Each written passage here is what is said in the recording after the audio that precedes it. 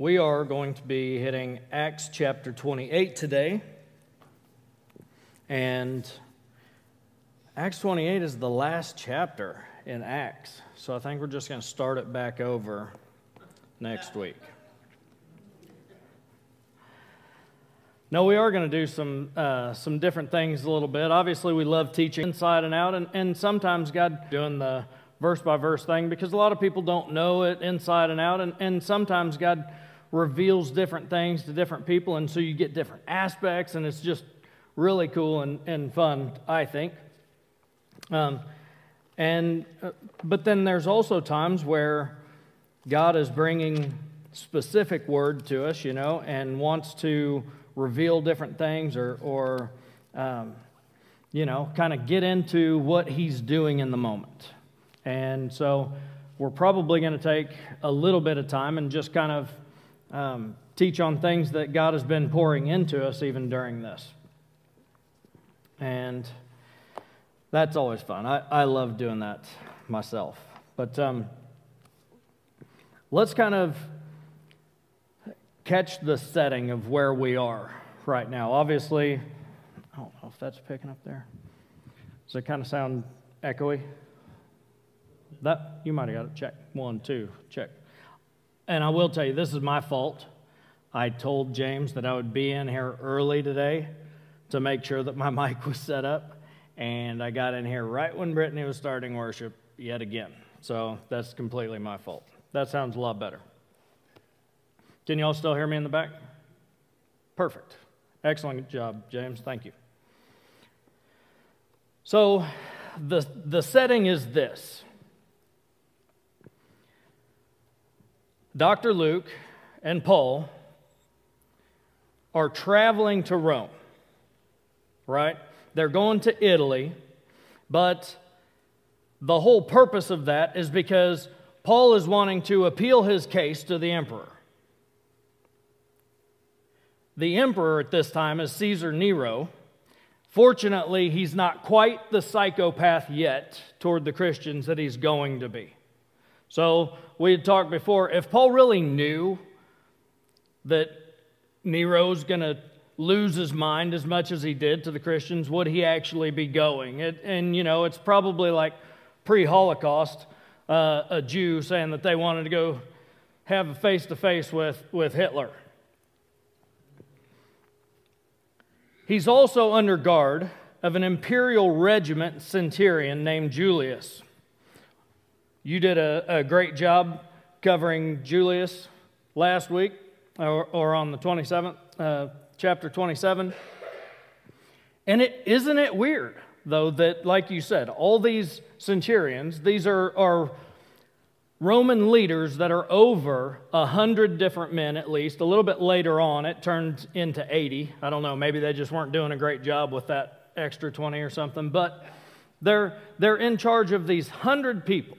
You know, so they've been they've been chosen for their their job because they are responsible. They're good leaders, whatever.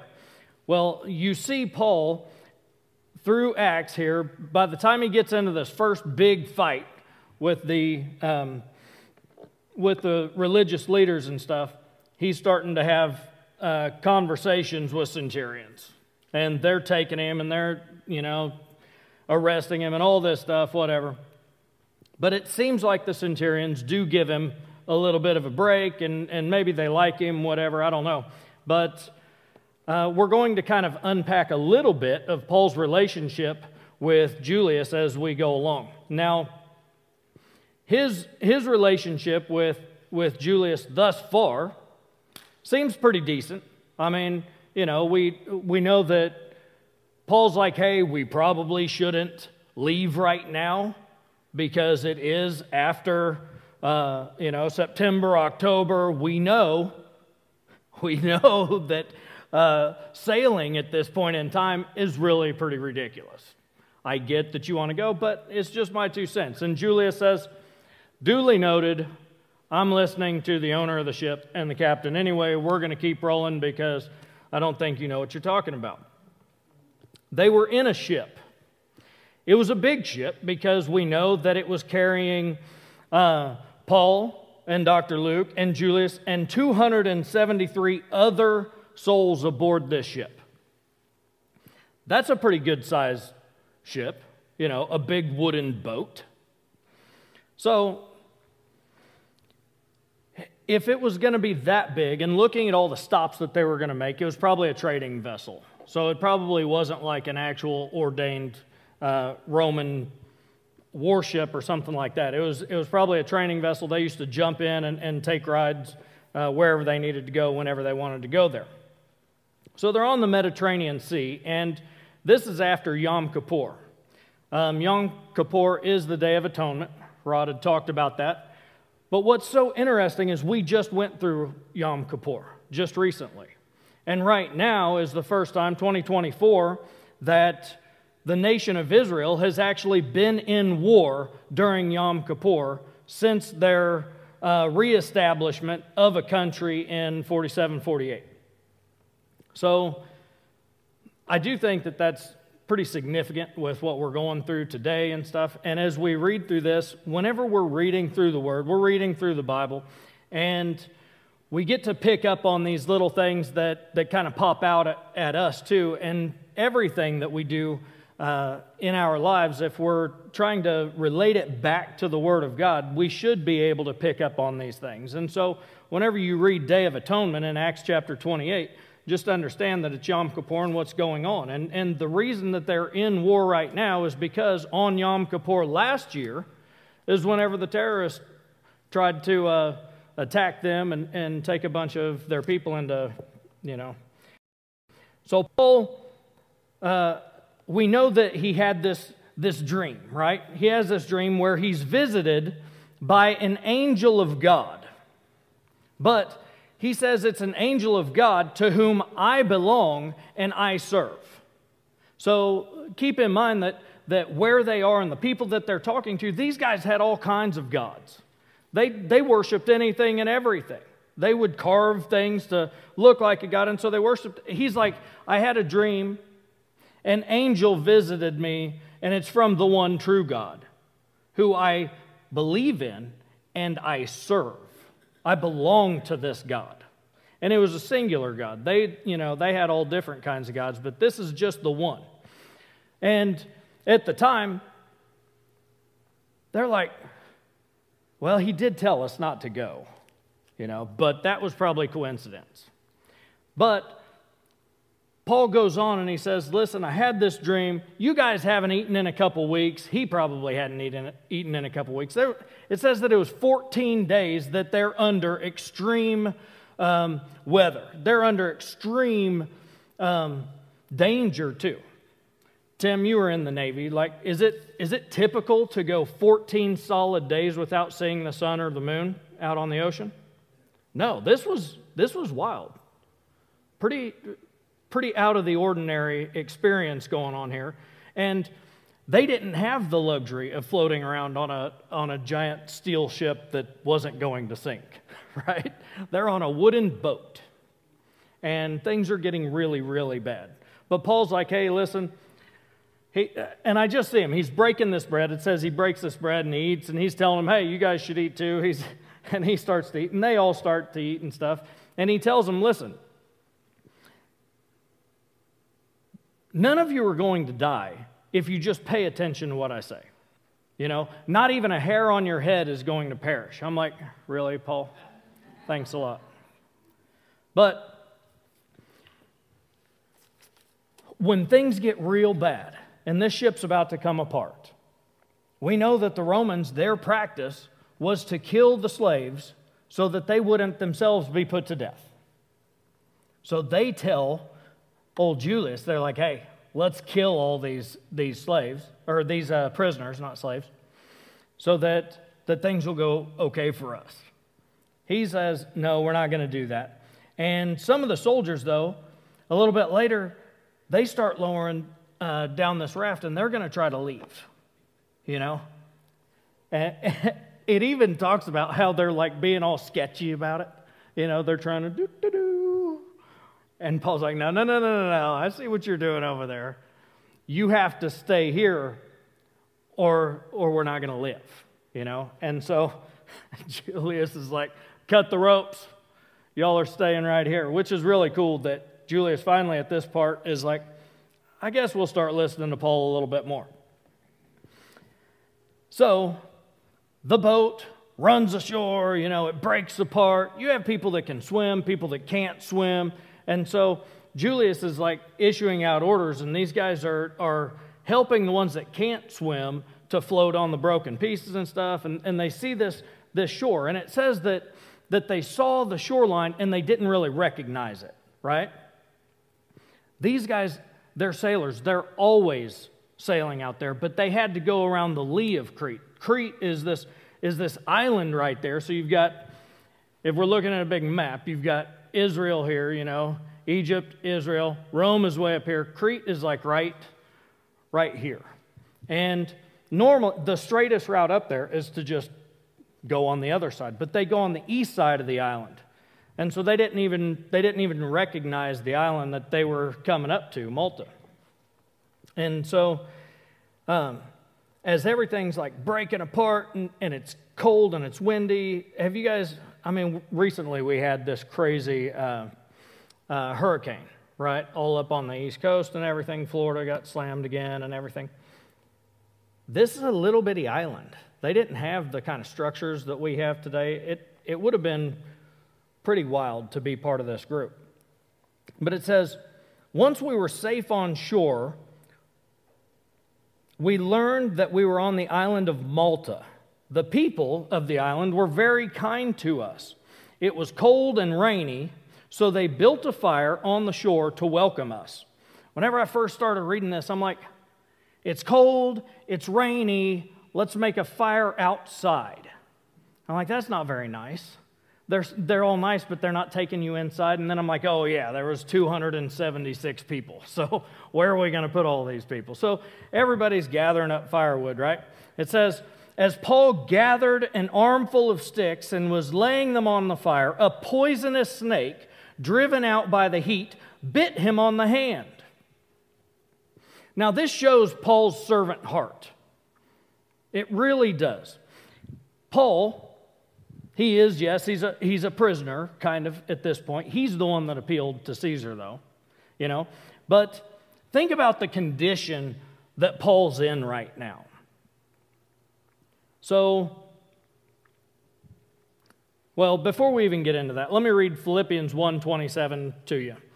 Paul says in that, he says, Above all, you must live as citizens of heaven, conducting yourselves in a manner worthy of the good news about Christ. So, everywhere that Paul is going, he's trying to display Christ to people.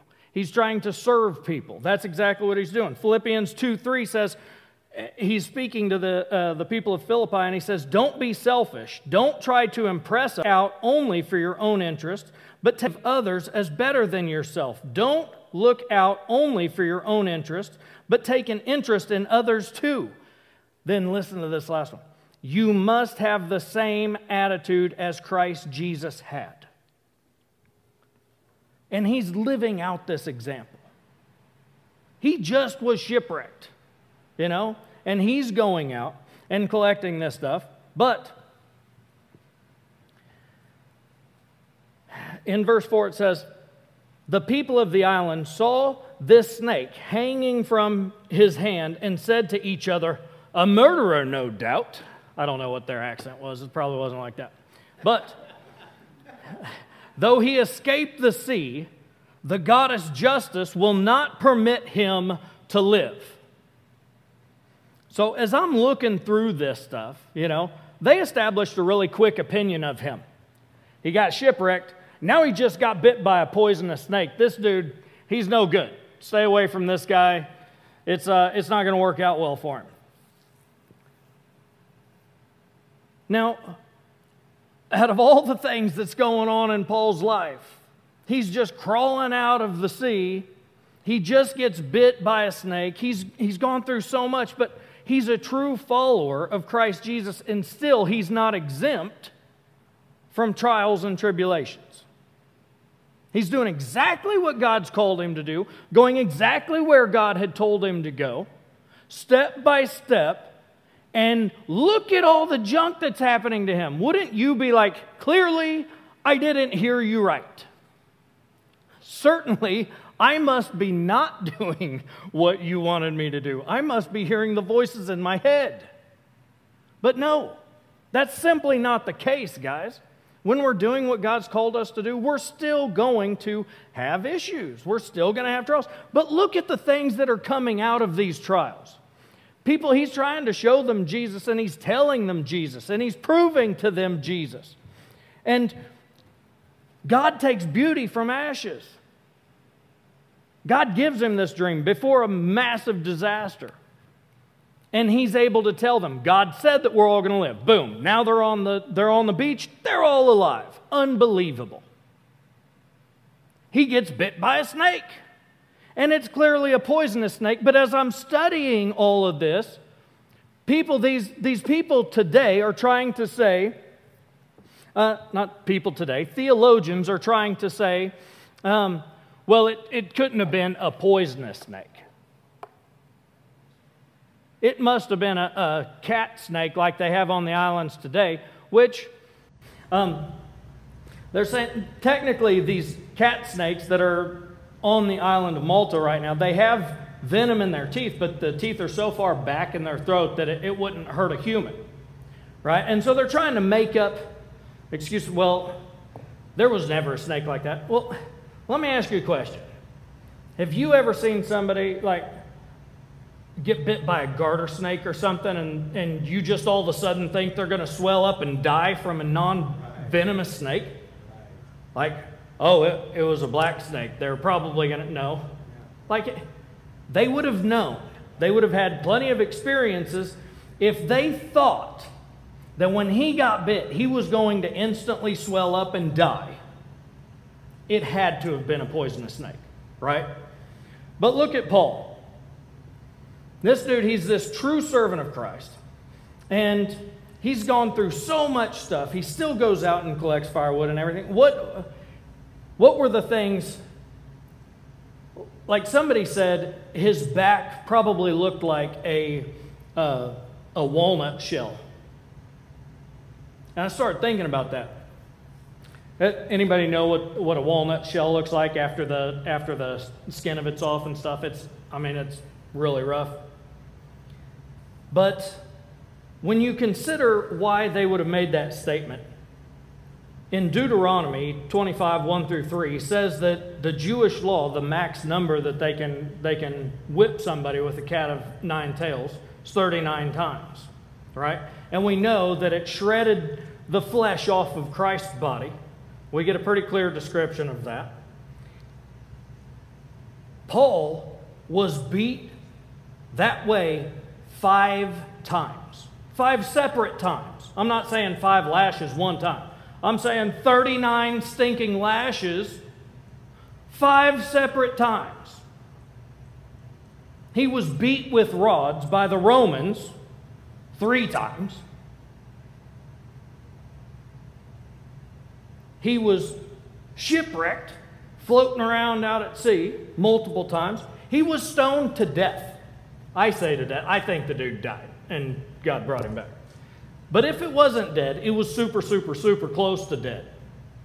I complain that my body hurts whenever I get out of bed in the morning um, because of the things I've done to it. This dude, oh my goodness, he has to hurt way worse than me. And he's still going out and still serving people. He's not stopping because of his passionate love for Jesus Christ, for what God has done to him. Why would he endure something like this over and over and over again? Philippians 1:20 says, "For I fully expect and hope I will never be ashamed, but that I will continue to be bold for Christ." As I have been in the past, and I trust that my life will bring honor to Christ, whether I live or die. For me, living means uh, living for Christ, and dying is even better. So he's doing this. He says right there the whole reason that he does this and he's, he's suffering and he will not stop is to bring honor to Christ. How many of us have that kind of motivation? That kind of dedication, determination? Man, I don't, I mean, I would love to say that I could handle that, but think of the second time that he's getting ready to get whipped the 39 times. Think of the second time. It's already happened once, and he knows what he's getting ready to go through. Imagine being strapped to that pole and getting whipped the next almost 70 times, you know? And then he goes right back to doing what got him there in the first place and gets it again. I mean, that's amazing. Philippians 129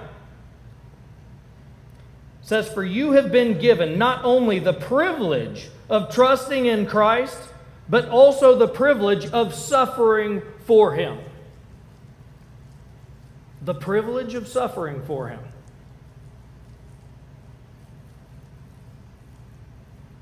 God, help me to view suffering for you truly as a privilege. Acts 20, verse 24 says, but my, but my life is worth nothing to me unless I use it for finishing the work assigned me by the Lord Jesus. The work of telling others the good news about the wonderful grace of God. That's the point. To him, his life is worth nothing if he's not doing what God told him to do whether he's getting whipped or not, whether he's chained to a Roman or not. How could he live like this? Philippians 4 6 through 7 says, Don't worry about anything. Instead, pray about everything. So, this is how, how Paul views things. This is how he goes into things, how he lives his life. He says, Pray about everything. Tell God what you need and thank Him for all that He's done. He has done. Thank Him for everything that He has done. Then you will experience God's peace, which exceeds anything we can understand. His peace will guard your hearts and minds as you live in Christ Jesus. That's how it's done. That's how it's done. So, what brought him to all of this suffering, right? His message. What he wouldn't stop saying is what brought him all of this. He's saying what God told him to say. Acts 20 21 says, I have had one message for Jews and Greeks alike the necessity of re- repenting from sins and turning to God, and of having faith in our Lord Jesus. That's the message that he's been having. However, like you said the other day, Rick, it's, it's absolutely true that just talking about Jesus wasn't necessarily so much of what really made them want to murder this dude. But it was the fact that he says he's not just for you Jews anymore, it's also for the Gentiles. And they're like, what? Kill him. you know? Um, we'll see that a little bit more here in, in just a minute. So Paul gets bit by this snake, right? And he shakes it off into the fire and was unharmed. I love it. He didn't freak out. He didn't scream. At least it's not recorded. You know, boom, snake stuck to his hand, and he's like, shakes it off in the fire. Me, I mean, I'm not really afraid of snakes, but if it latched onto my hand, I probably, Wah! like, it wouldn't hit the fire unless the fire was really big and way over there somewhere, you know? But he didn't, he also didn't blame others for not gathering wood. You don't hear that at all. He wasn't like, well, I got bit by a snake. What were you guys doing? Am I the only one going to gather the wood? Am I the only one that's going to work in the ministry? Am I the only one that's going to, you know, try to bring souls to Christ? No. He wasn't complaining about that. He wasn't blaming other people. He didn't blame God for letting it happen to him. He didn't say, seriously, God, I'm doing exactly what you called me to do. And yet again, I got a snake stuck to my hand. No, he didn't. He just shook it off and let it fall in the fire. This thing that's trying to attack him while he's doing God's work. He just shook it off and let it fall in the fire where it belongs. He didn't let it bother him. And he trusted the fact that he's doing what God's told him to do, where he's told him to do it, when he's told him to do it, how he's told him to do it. So even if a poisonous viper stuck to his hand, guess what? God said you're going to Rome. Why do you need to worry about the snake that just bit you? God didn't say, on your way to Rome, you're going to die by being bit by a poisonous viper. No, he said, you you will stand before Caesar. So he's like, okay, God said I'm going, so it's not that big of a deal. He was walking in the security of God's direction. These people, they waited. In verse 6, it says, The people waited for him to swell up or suddenly drop dead. You know, uh, the word is truth. People are trying to explain it away. it must not have been a poisonous viper, whatever.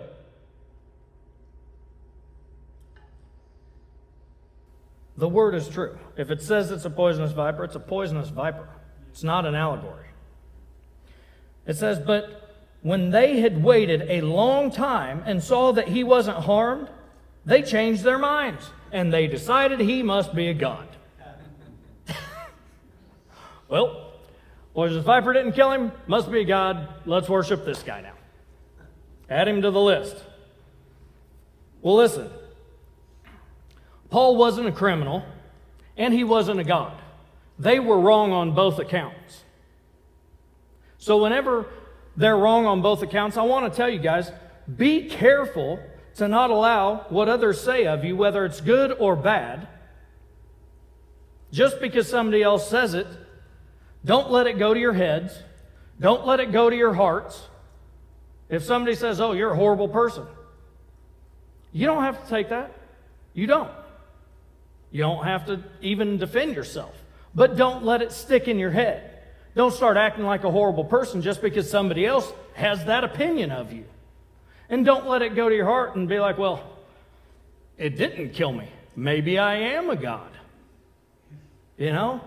Good, bad. What other people say of you don't, does not define you. What God says of you defines you. And he says that you're fearfully and wonderfully made. He says that he has a plan for you. He loves you. He made you exactly how you are, put you exactly where you are, when you are. He knew you were going to be sitting in here today. When I was being an absolute moron, not deserving even to probably live if you really break it down, he still knew that I was going to be standing here today, redeemed, renewed, set free, restored, and covered in the blood of the Lamb. Thank you, Jesus. Wow. Good thing I'm not God. I wouldn't have made it very long. So now, now the plot thickens, right? And again, I'm thinking, what's Julius thinking? Paul was right about the shipwreck. Paul gets bit, like He's still alive. There must be something up with this guy, right? So they're near, near the shore. Where we, landed, where we landed was an estate belonging to Publius, the chief official of the island. That means that he was Rome's direct representative. His house was right there. And it says that he welcomed us and treated us kindly for three days. I think that Paul and probably Luke and, hey, what was that other dude's name that was with him? Never mind. Yes, yes. Another weird, crazy Greek name or something. He probably lets them stay in the house. I'm sure Julius did too, because he's like, he's not staying in here if I'm not. You know, it's wet and cold out there. But says that he treated them really well for three days. And then it happened it just so happened that, that this dude's father was ill with fever and dysentery. That's not good, you know. Um, that can kill a lot of people, but supposedly there was like a um, some worms that were known on that island through some things that they ate, and it would make people like ridiculously sick. If it didn't kill them, they'd be sick for months and months and months with some of these exact same things. So maybe that's what happened. But one way or another, he had fever, dysentery, could have killed him. But Paul went in and prayed for him, and laying his hands on him, he healed him.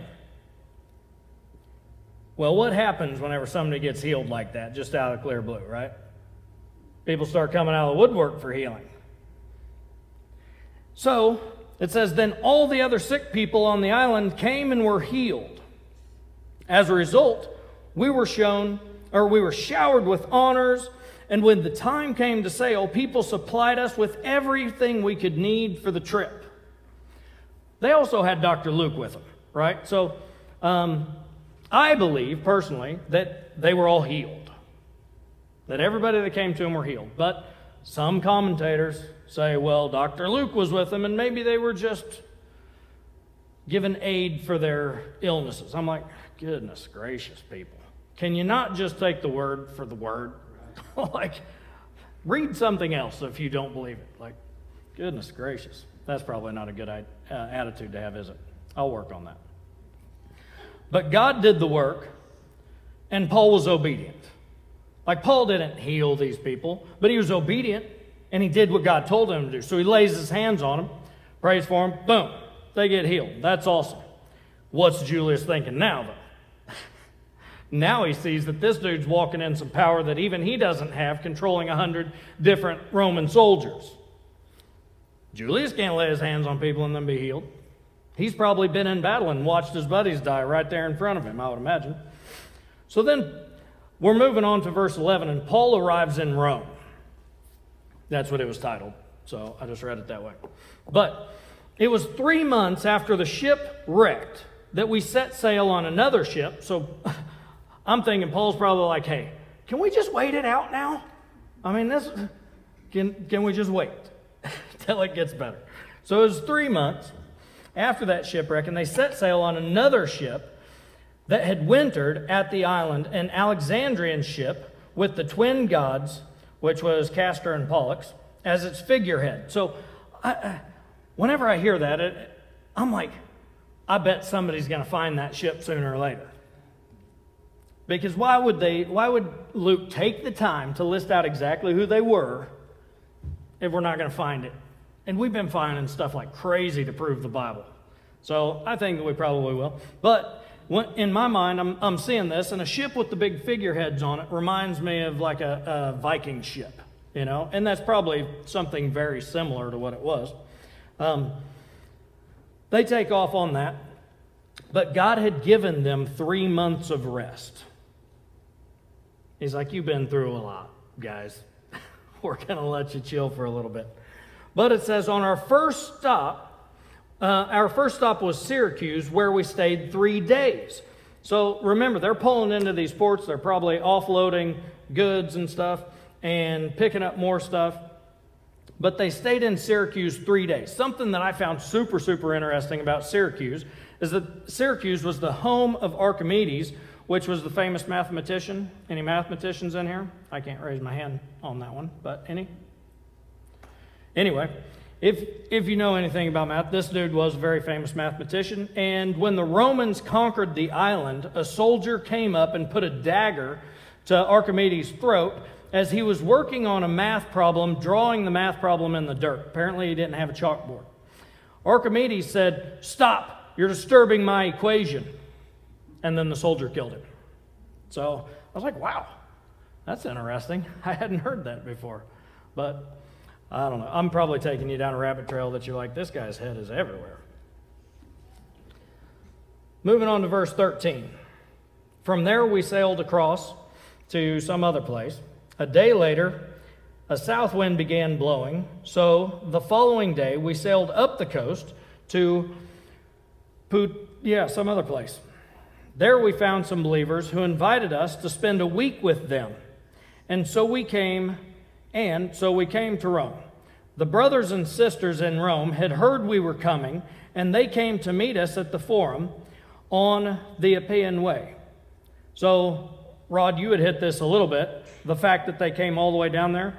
Uh, others joined us at the three taverns. Mine, mine says taverns for whatever reason. Then Paul saw them, and he was very encouraged and thanked God. So, these people, as, as Paul's getting up there, you know, the weather's breaking, travel's finally starting to happen again, and word gets up to Rome that Paul's coming. Well, about four years earlier, Paul wrote the book called Romans, the letter to the Romans.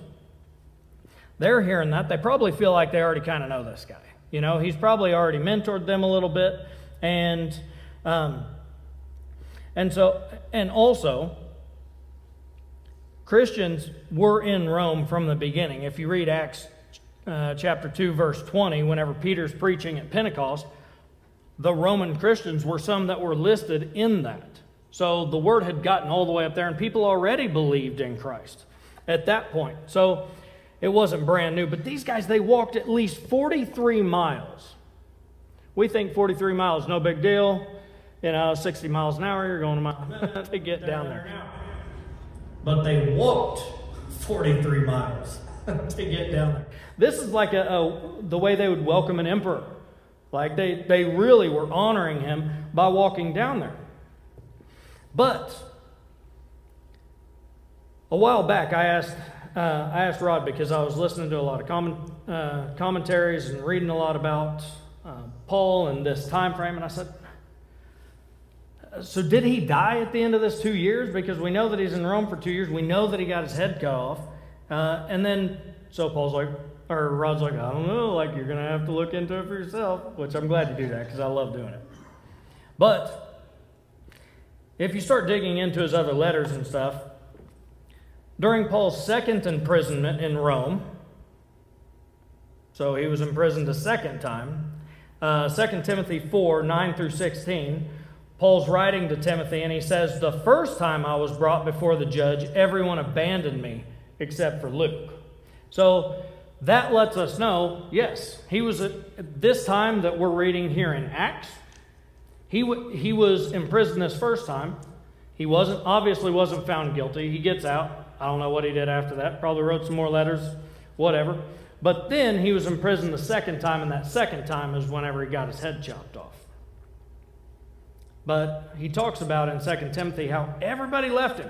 So right now we're seeing him come in town and he's getting this fanfare. I mean, people are just coming and they're, they're like, yes, Paul's here. This is great. But by the time of his second trial, nobody was with him. And I don't know why, but here at the end of Acts chapter 28, it just kind of seems like Luke's like, well, I'm done writing. I got a hand cramp or something. And he just stops. It does. It just stops. You're like, where's the rest? So I don't know. I'm probably going to ask him that whenever I get to heaven. Like, hey, you know, it been it would have been beneficial to have a little bit more. You know, inquiring minds would like to know what really happened. So, anyway, it says when we arrived um, in verse 16, when we arrived in Rome, Paul had um, Paul was permitted to have his own private lodging, though he was guarded by a soldier. They're like, look, we're not going to spend tax money on you any more than we have to. You can rent your own place, but you have to rent it yourself. And this guard's going to be chained to you the whole time.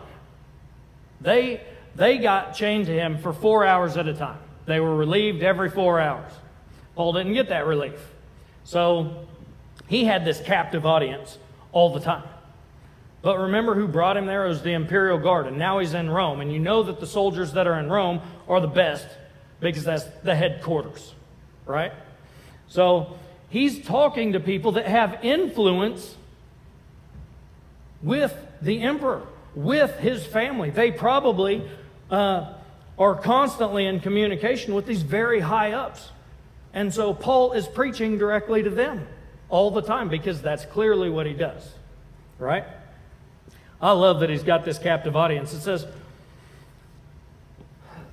three days after Paul's arrival, oh, and the place that he rented had to be pretty big because quite a few people come over here in just a little bit, and he had to pay for it himself. But three days after he gets there, he called together the local Jewish leaders, same as he always does, and they're always the ones that try to kill him. He's like, all right, I've been here three days. Let's do this. like, bring it on, boys. I'm, I'm like, Paul, give it a minute. Settle in a little bit, you know, like build some relationships. He's like, no, I got something to do. I got to tell you something. Guess what? You're not going to like it, but I'm going to tell you anyway. He said to them, Brothers, I was arrested in Jerusalem and handed over to the Roman government, even though I had done nothing against our people or the customs of our ancestors. When he's talking to these people, I'm pretty sure that Paul already believes that word had traveled there about him because people always followed him. When they knew where he was going, they followed him. They tried to ambush him. They tried to, you know, infiltrate the people that he's going to be talking to. So I'm sure that he thinks that they already know what's up. So he's, he starts right in on it. And these guys, they're sitting there listening, probably like, Who are you? You know? Uh, you'll see why I think that. Even though I had done nothing against our people or the customs of our ancestors, so against our people, the Jews, or the law. Those are the two main reasons that you're going to get yourself handed over to the Romans for some pretty significant punishment, obviously. He says, The Romans tried me and wanted to release me because they found no cause for the death sentence. Obviously, the Jews are like, Kill that dude. We don't want him around anymore. But when the Jewish leaders protested the decision, so they're like, He didn't do anything wrong. These Jewish leaders are all kinds of upset and they protested. It says, when they protested the decision, I felt that it was necessary to appeal to Caesar, even though I had no desire to press charges against my own people. He says, I felt it necessary because if they let me go, I would have been murdered. It's like, listen, all you guys with all the armor and the swords and the training and the horses and everything, you're the only thing keeping me alive right now. I'm pretty positive of that.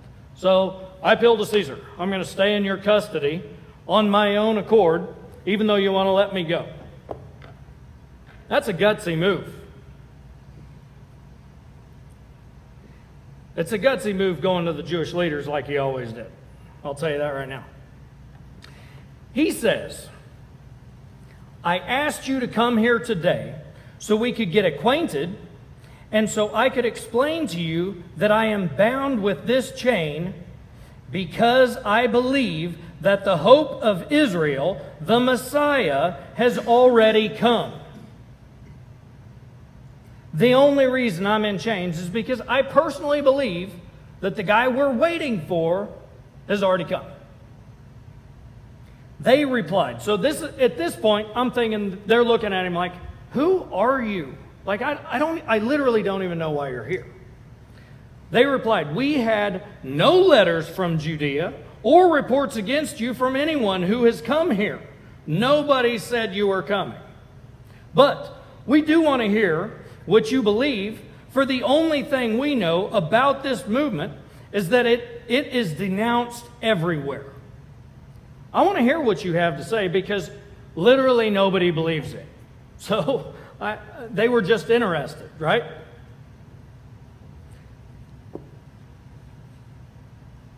I think that a big part of the reason that they hadn't heard from anybody is one, everybody probably thought that he was dead. Okay, they expected him to have gone up there. I'm sure that they were thinking that, um, that he would have been there by now, but if he's on a, a big trader ship, right? Like we had talked about. And this ship wrecks months ago, a long time ago, before the bad weather. We know people aren't traveling. These people that are accustomed to being comfortable, they're not traveling. You know, they're like, uh, it wouldn't make sense for me to go land all the way around. And it's not wise to go through the sea. We're going to wait it out, let him get there, whatever. Then we'll, we'll deal with it. Then all of a sudden, what happens whenever a big uh, ship wrecks? You get stuff strewn everywhere, stuff starts washing up on the shore. I'm sure people identified the stuff that these guys started throwing over whenever it got really bad. And so they probably get, um, they get word back that, hey, all this stuff's washing up on shore. We know that it came from this ship. We know that Paul was on that ship. He's probably dead. We haven't heard from anybody saying that, they, that they're alive or anything like that. So they, they literally probably thought that he was dead. So they didn't send anybody. So a time was set, it says in verse 23 so a time was set And on that day that the time was set, a large number of people came to Paul's lodging. So he's probably renting a pretty big place. That's why, why I was saying that. A large number, number of people came there. Now, before we, before we go too far into this, and Paul starts uh, his discussion and he's explaining what's going on, I want to set an anchor point for you. Paul is, is what you're getting ready to read is very interesting because Paul's always pointing out that Jesus is the Messiah through the Old Testament. Always. We point out that he's the Messiah through the New Testament a lot. He's pointing it out through the Old Testament. But Isaiah 6 8 Isaiah 6, verse 8 says, Then I heard the Lord asking, Whom should I send as a messenger to this people? Who will go for us? I'm going to open up to Isaiah real quick.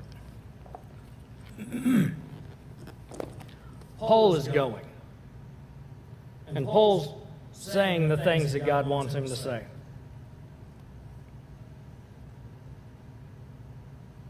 Then I heard the Lord asking, Whom should I send as a messenger to this people? And who will go for us? And God goes on talking there in Isaiah about the destruction, the things that were going to happen, all these, these horrible things, right? I'm going to I'm going to take us off course for just a second, but I think that it's, it's really interesting and, and neat to understand. Then in Isaiah 6 11, so just a little bit farther down, it said, Then I said, Lord, how long will this go on? Isaiah is asking God, this destruction is this is horrible. How long is this going to go on? Listen to this. Until their towns are empty, their houses are deserted, and the whole country is a wasteland until the Lord has sent everyone away and the entire land of Israel lies deserted. So now we're back. I'm, I'm taking you back to Paul.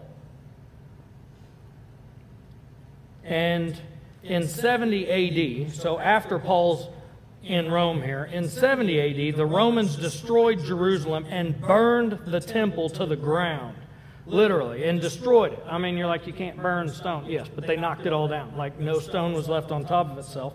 And Israel was dispersed uh, until May 14th, 1948, whenever it became a country again.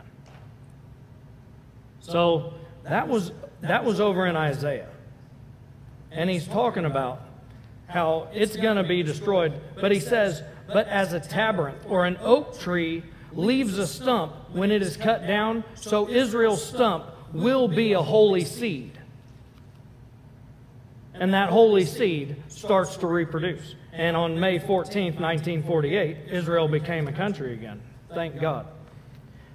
So, we're back. Um, so, just recap real quick Isaiah 6, 8. Then I heard the Lord asking, Whom will I send and who um, will go for me as a messenger to these people, right? Then we look at Acts chapter 9, verse 15. And the Lord says to Ananias, But the Lord said, Go, for Saul is my chosen instrument to take my message to the Gentiles and to kings as well as the people of Israel. God said, Who, Who's going to go for me? And then God says, I choose Paul at this time. You know, yes, Isaiah went before, but he chooses Paul at this time to literally go and bring his message forth. So, now Paul is in his apartment talking to these guys, still chained to the Roman soldier over here. So I bet he talked with his hands too. So he's like, ching, the soldier's like, would you stop already? You know, that's, that's where my mind goes. It says, He explained and testified about the kingdom of God and tried to persuade them about Jesus from the scriptures using the law of Moses and the books of the prophets. He spoke to them from morning until evening. And if Paul can preach from morning until evening, we're going to be here a while.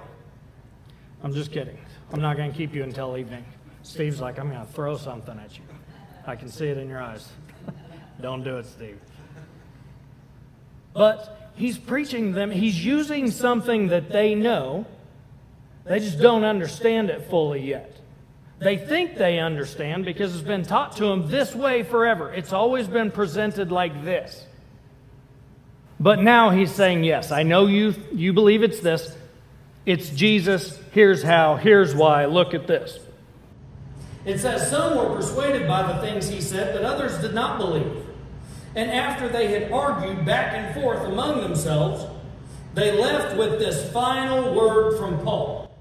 Before I get into this final word, it said some believed, and some will believe you when you share the gospel. Whenever you share the good news, your testimony of what God's done to you and for you, whenever you share your experiences, and whenever you share the fact that He is the one true God, the same yesterday, today, and forever, and He's the one that can save them from their sins. Some will listen, some won't. A lot of people didn't listen to Jesus. A lot of people didn't listen to Paul, but some did. And because of that, we're still talking about it today, and we believe and we have relationship with him today. And I encourage you, keep it up because people way down the road are going to be talking about Jesus having a relationship with him and loving him because of you. So, it says, after they had argued back and forth amongst themselves, I don't think Paul was, was really digging this very much. He doesn't like, the arguing is really getting on his nerves, it sounds like. So I call this Throat Punch Thursday. I don't know if it was Thursday, but he's getting ready to hit him in the throat, it seems like. And he says, The Holy Spirit was right when he said to your ancestors through Isaiah the prophet. He's getting ready to lay it down. you know, I don't know the tone of voice that he's using, but he's getting ready to really smack him. He says, Go and say this to this people. When you hear what I say, you will not understand. When you see what I do, you will not comprehend. For the hearts of these people are hardened, and their ears cannot hear. Here's a big, a big takeaway right here. And they have closed their eyes. They have closed their eyes. So their eyes cannot see, and their ears cannot hear, and their hearts cannot understand, and they cannot turn to me and let me heal them.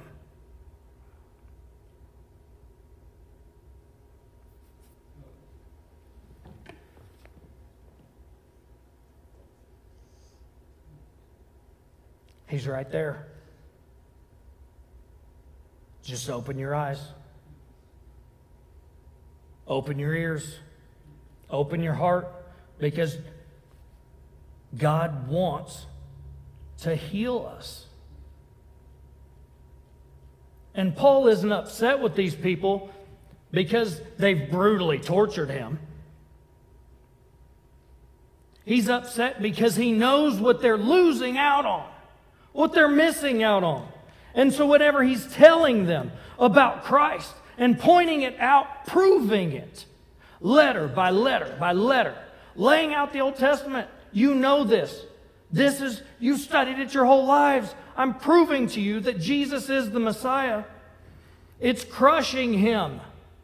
You don't keep going and get brutally tortured and have your flesh ripped off your body time and time again just because you want to prove a point. No, it's because you passionately love people. And God says the greatest two commandments are to love me and to love others. And Paul is loving others. And so it's crushing him to know you are refusing this relationship with the one that created you, and it not only breaks his heart, it's breaking my heart. It's devastating to him.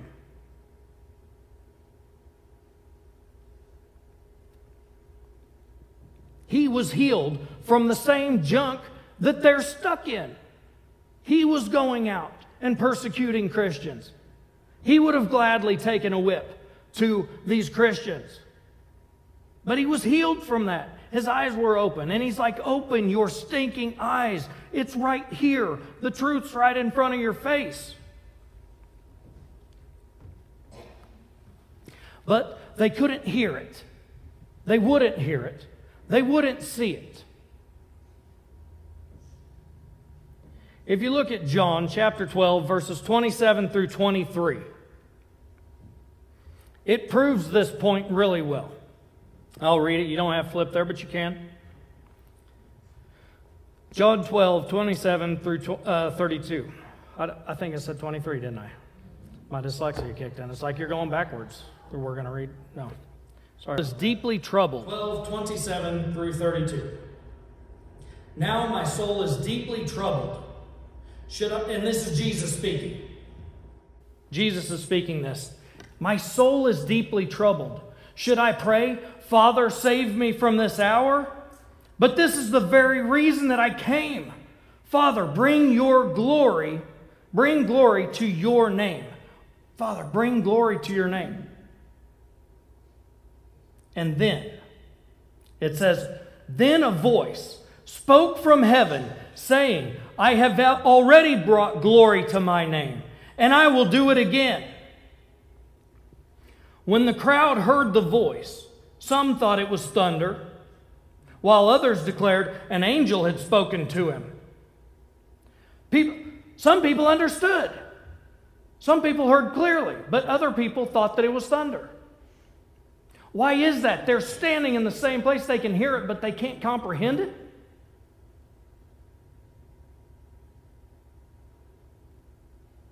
It says, Jesus said, The voice was for your benefit, not mine. Jesus knew exactly what he said.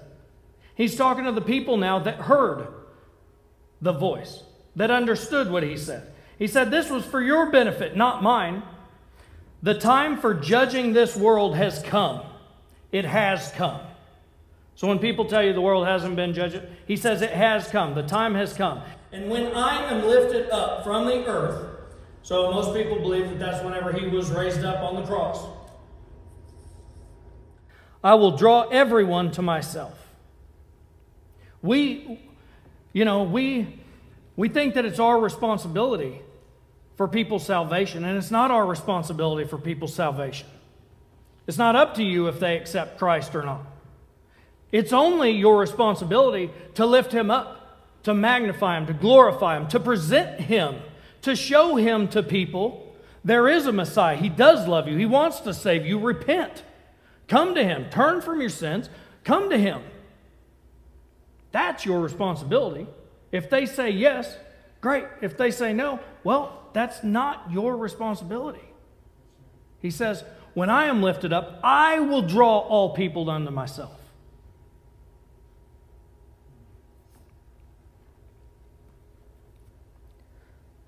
So back in Acts 28 28, he says, So I want you to know that this salvation from God has also been offered to the Gentiles, and they will accept it. So he just, you know, he hit him pretty hard saying, Listen, Isaiah was talking about you people. And then he drives, drives the knife in and says, Because you don't listen, God is offering it to the Gentiles now. Congratulations. And now we get to have it. And he says, And they will accept it. And I do accept it. And you've accepted it. That's awesome.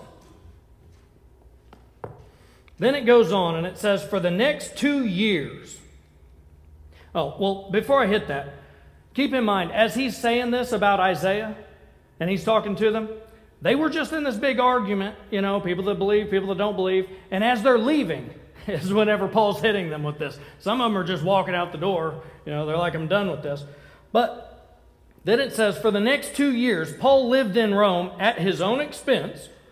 He welcomed all who visited him boldly proclaiming the kingdom of God and teaching about the Lord Jesus Christ. And no one tried to stop him.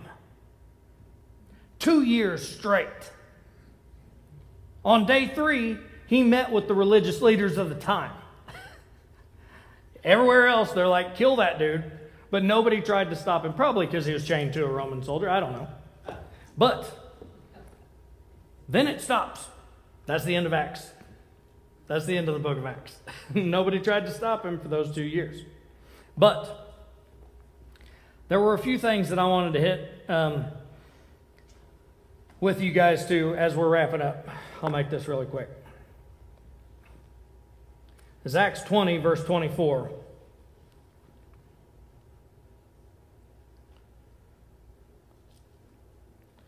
Where'd go?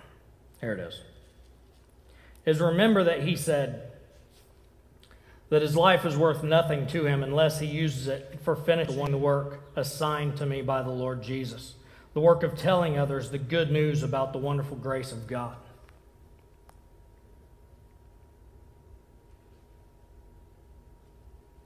He said that he has a great sense of obligation to people in both the civilized world and the rest of the world to educate and um, to the educated and the uneducated. Paul, that's that's what was pushing this dude. That's what was driving him was this sense that God had called him to do this and he knew that he had to do it.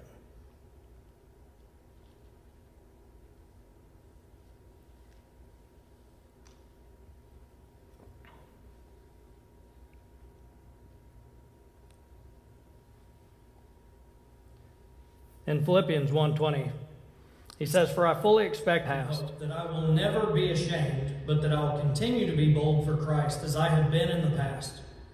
And I trust that my life will bring honor to Christ, whether I live or die. For me, living means living for Christ, and dying is even better. But if I live, I can do more fruitful work for Christ. So I really don't know which is better. I'm torn between the two. Uh, I'm torn between these two desires. I long to go and be with Christ, which would be far better for me. Yes, it would be. But for your sakes, it is better that I continue to live. That is not a proud statement. He sees the, the, uh, the despair that they live in, he sees their life without the hope of Christ as their salvation. So he says, It's better for you that I live. Knowing this, I'm convinced that I will remain alive so I continue, so I can continue to help all of you grow and experience the joy of your faith. Guys, that's where we need to be. If we're not dead yet, if we haven't taken the last breath here and the first breath there, then we need to keep understanding that our job is to help people to grow and experience the joy of their faith. He says, Philippians 1 27. Above all, you must live as citizens of heaven, conducting yourselves in a manner worthy of the good news about Christ. Then, whether I come to see you again or I only hear about you, I will know that you are standing together with one spirit and one purpose, fighting together for the faith which is the good news. He goes on, he says, Don't be intimidated by any way. Um, don't be intimidated in any way by your enemies. This will be a sign to them that they are going to be destroyed, but that you are going to be saved, even by God Himself.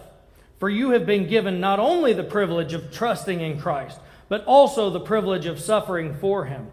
We are in this struggle together. You have seen my struggle in the past, and you know that I am still in the midst of it. This guy, like, he's laying it out for him, you know?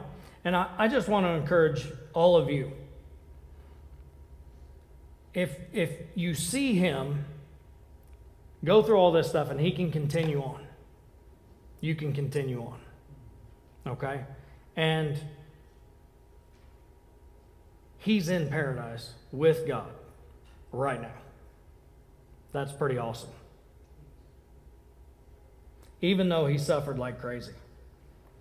Don't worry about anything. Instead, pray about everything and tell God what you need and thank Him for all that He has done. Then you will experience God's peace, which exceeds anything we can understand. His peace will guard your hearts and mind as you live in Christ Jesus. Amen. He's no longer a slave. He's no longer a prisoner, and he did fight the good fight. So, that's wrapping up Acts.